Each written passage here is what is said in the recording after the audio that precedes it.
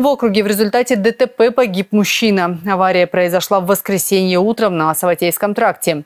По данным ГИБДД, водитель не справился с управлением и автомобиль Honda Accord опрокинулся. Водитель скончался, пассажир не пострадал.